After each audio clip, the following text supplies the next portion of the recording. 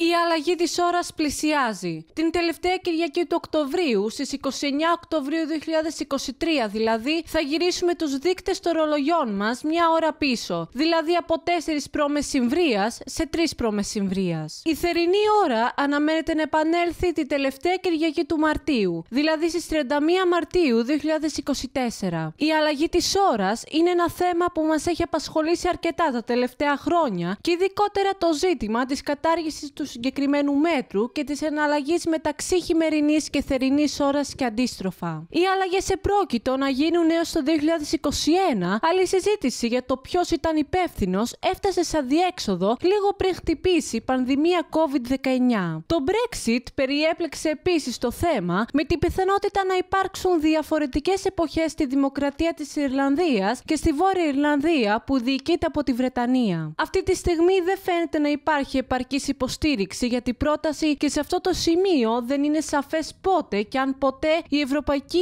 Ένωση θα απαλλαγεί από το μέτρο.